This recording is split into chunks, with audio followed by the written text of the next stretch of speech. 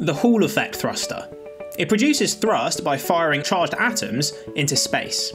But unlike the gridded ion thruster, which suffers from grid erosion, the Hall thruster works without a grid.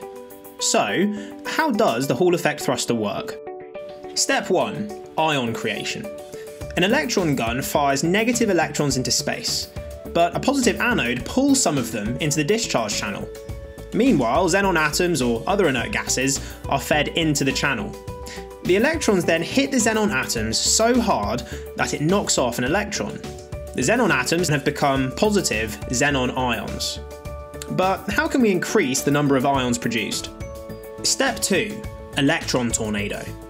Electromagnets at the channel entrance produce powerful magnetic fields 500 times stronger than Earth's. The field traps incoming electrons which orbit the channel 1 million times per second.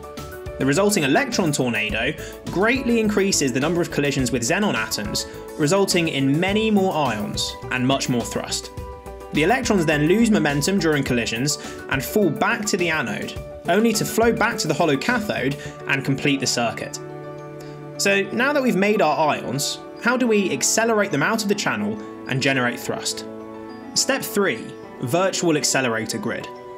Because opposite charges attract, the positive ions are strongly pulled toward the negative electron tornado. They're then fired out of the thruster at up to 25 times faster than a bullet. So, unlike the gridded ion thruster, which uses a physical metal grid to accelerate ions, the Hall thruster uses a virtual grid made of electrons, and this doesn't erode over time. But there is a final issue.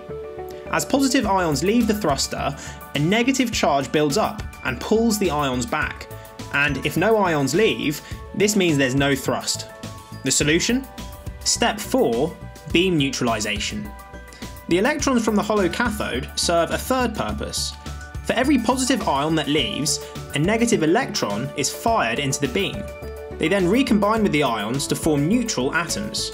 So, an equal amount of positive and negative charge leaves the thruster, and charge buildup is prevented.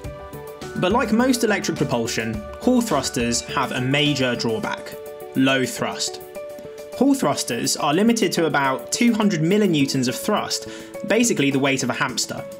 But what if we wanted to achieve higher thrust but still use electric propulsion? Well, watch the next video to learn about the thruster with the coolest sounding name, the magnetoplasma dynamic thruster.